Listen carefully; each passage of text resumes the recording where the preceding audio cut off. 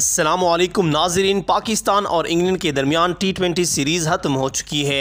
अब Pakistani team New Zealand के लिए रवाना हो गई, जहाँ पर वो ट्राई नेशन सीरीज़ में हिस्सा लेगी। ट्राई नेशन सीरीज़ में पाकिस्तान न्यूजीलैंड और बांग्लादेश की टीमें हिस्सा लेंगी। दोस्तों ट्राई नेशन सीरीज़ में पाकिस्तान न्यूजीलैंड और बांग्लादेश के खिलाफ कितने टी ट्वेंटी मैचों की सीरीज़ खेलेगा, पूरी शेड्यूल और टाइमिंग आपके साथ शेयर करने वाले हैं। लेकिन अगर आपने अभी तक हमारा यूट्यूब चैनल सब्सक्राइब नहीं किया है तो हमारा यूट्यूब चैनल सब्सक्राइब कीजिए और इस वीडियो को लाइक कीजिए। दोस्तों, पाकिस्तान न्यूजीलैंड और बांग्लादेश ट्राई नेशन सीरीज़ के लिए न्यूजीलैंड पहुँच चुकी है।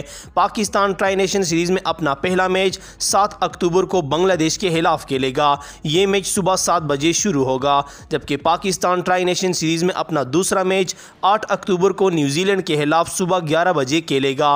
पाकिस्तान अपना तीसरा मैच ग्यारह अक्टूबर को बांग्लादेश, जबकि अपना चौथा मैच तेरह अक्टूबर को न्यूजीलैंड के खिलाफ सुबह सात बजे खेलेगा। दोस्तों ट्राई नेशन सीरीज़ का फाइनल 14 अक्टूबर को खेला जाएगा।